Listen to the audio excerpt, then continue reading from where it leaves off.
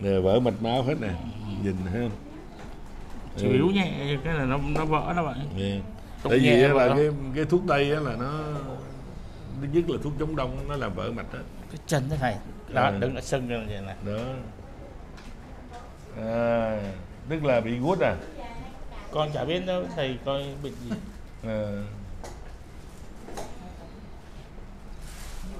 là bị về lâu chưa khoảng mấy tháng nay hả À, mấy năm tháng năm tháng năm tháng này rồi đi bệnh viện nó chẩn đoán bệnh gì? Con chưa có đi chữa bệnh bệnh chân này. Còn ờ, còn ờ, mập là hồi từ hồi khi nào? Mập mấy năm nay rồi mấy năm nay rồi. Dạ. Mà uống cái thuốc gì mà để vậy? Có chả biết uống thuốc gì nữa. Uống nhiều lắm trước đau đầu gối xong rồi uống cái thuốc Rồi. thuốc ở tiệm thuốc thuốc bắc á. Người ta bán cho viên như mắt tôm á thầy. Uống là 5 viên á. Uống thấy vô bứt nó liền. Hết đau. Nhưng mà tự nhiên nó mặt mình nó sưng. Đẹp trai ra. Không có đẹp được mọi người thấy á, Khó là cái em này á là bị hội chứng gọi là Cushing. Tức là hội chứng bị ngộ độc corticoid. Thấy chưa? Mặt thì sưng bụng thì to. Chân chân teo. Chứ không có phải sưng đâu còn cái gì sưng là không phải sưng. Rồi hồi sáng giờ nghe nó 16 8 rồi phải không? Dạ dạ.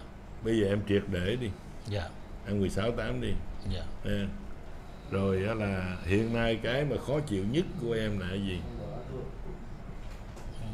Đầu chân chân nó sưng nó đứng đứng đâu nó xuống chân này nè sưng lên.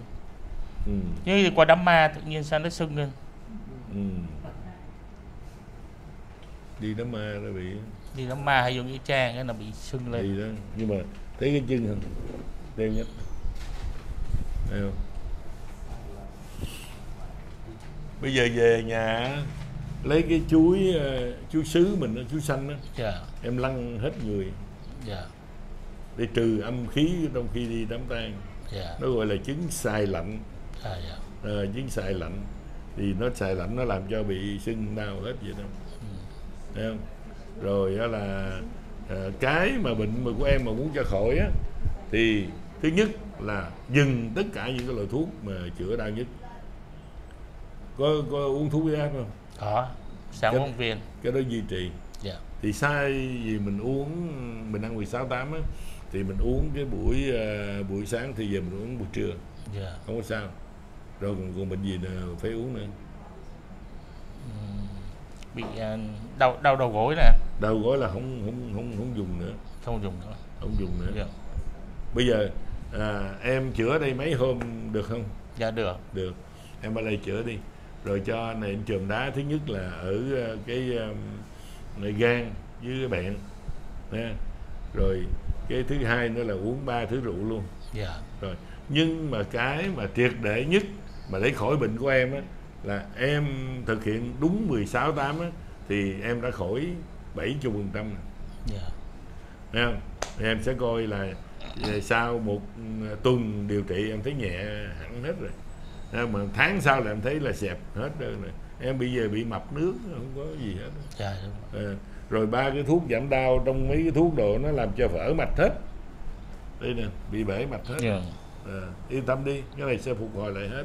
Dạ. Nha. Thì chút xíu em ra làm thủ tục đi. Dạ Nha. dạ dạ. rồi cho em đôi uống đủ hết rồi hả? Được rồi.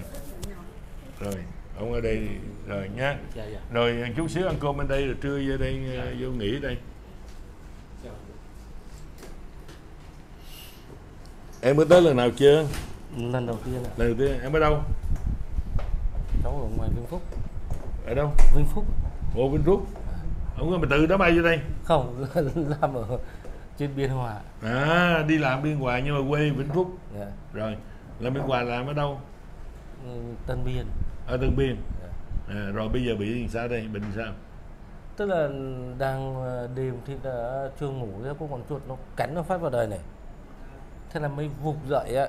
Cứ thế là người bật dậy thế là nó khục lửng ở đầu bây giờ khờ. Ờ chỗ thế là cứ đầu suốt từ hôm nọ giờ ạ. Ờ vậy. Bị chỗ cắn không có không phải À. tại vì đột ngột. Đúng rồi. Đột ngột. Mẹ cái mẹ cái con chuột nó cắn kỳ lắm cái miệng của nó cái, cái răng của nó nó mò mỏ đi. Tức là tức là nó nó không có sơ sơ sơ rồi nha là- nó bập một cái. bắp một cái. Nghĩ là rắn cắn luôn đó. Ơi được À, rồi quá thế là cháu vùng dậy à, vùng dậy góp thế là sáng hôm sau dậy là thấy đầu lưng mà mà cái xương á, cái xương sống á, cảm thấy là nó nó bị cẩu rồi buồn mấy ngày rồi? Chắc cả tuần rồi ạ. À, em này chườm đá ở gan với ở ngay cột sống. Nha. Rồi cho ông này ba thứ rồi luôn. Ông coi như là ông trị chuột cắn trị rắn cắn rồi luôn. Mà bây giờ cứ đau á Ừ, kệ nó. Bây giờ là ra thủ tục làm chữa bệnh mấy hôm. Báo về cơ quan xin nghỉ đi. Mấy ngày chứ. ừ, à, bây giờ tới thứ tư sáng thứ tư bắt đầu chữa từ ngày hôm nay bắt đầu hôm nay. Giờ em làm thủ tục trưa ăn cơm nghỉ ở đây. Rồi à, chiều à, à, chiều một giờ có mặt ở đây. Ha. Rồi chữa liên tục cho tới sáng với- tới ngày thứ tư. Thì là về không còn đau đớn gì nữa hết. À, dạ, dạ. rồi rồi hướng dẫn cho cách ăn uống rồi đó rồi ok. Nha. Dạ, dạ. dứt khoát vậy đi. Bây giờ đừng có để lâu tại em bị mấy ngày rồi. Chắc cả tuần đó. Cả tuần rồi vậy là được rồi chữa đừng để kéo dài kéo dài sao thành tật. Cực lắm. Dạ, ở đây. Lời lần đầu tiên hả cưng? Dạ. Rồi bị sao? Cháu bị viêm đa khớp à, bị bên khớp. Dạ. bị lâu chưa? Bị chắc hai năm ạ. hai năm nay rồi rồi.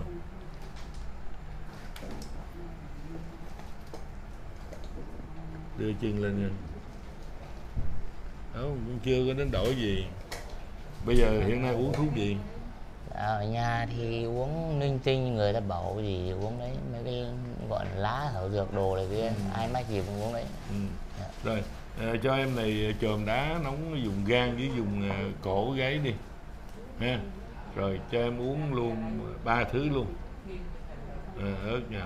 Bây giờ à, dùng à, cách dùng 16 tám rồi biết đó nè ha dạ. Rồi à, và phải về ăn 16 tám nha. Vâng. Đây, cái viêm đa khớp gan thấp là vậy rồi tháng sau vòng lại đi khám lại. Nha uống ba cái thứ này rồi cái tháng sau vòng lại. Nha. Ráng cố gắng nha em. Uống mới phải khỏi phải khỏi mới được đừng có để nó kéo dài. Rồi. Không có uống gì nữa, nữa nha ngoài cái độ đây nha.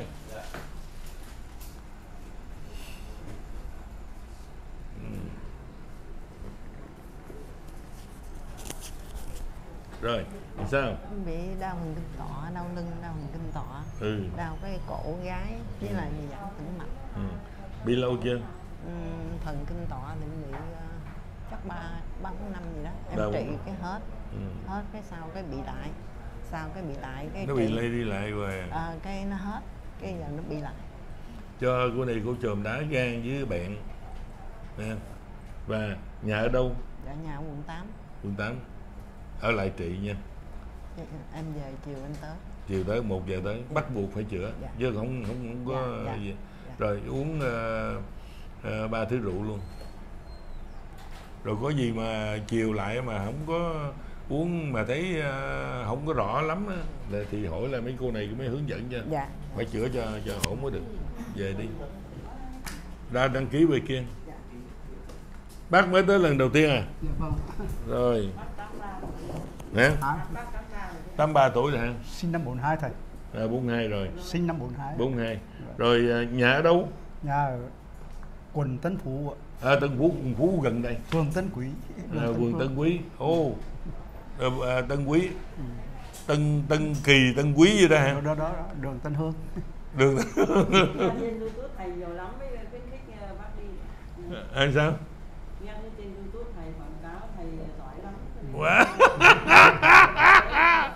ôi chừng bị lừa một lần là tiêm là cứ một tuần là tiêm giảm đau đây này thì nó mới đi được à mà mà bị gì mà phải tiêm Thưa thầy à, đi khám bệnh viện thống nhất thì à, à, cái đầu tiên là, là thiếu máu cơ tim. tiêm có cái tiêm rồi Ừ. rồi Cái thứ hai là thoát vị địa điểm à, ba ba độ. dạ N3 là 4 năm. dạ Bây giờ nó chèn rồi một cái thần kinh nó làm cho hai chân đi tê đi. à, đây Mà nhất là những cái, cái bàn chân là nhiều khi không có cảm giác. không có cảm giác gì hết đó Ờ, đấy, chỉ thế thôi. Yeah. vì thế cũng thiếu chết rồi.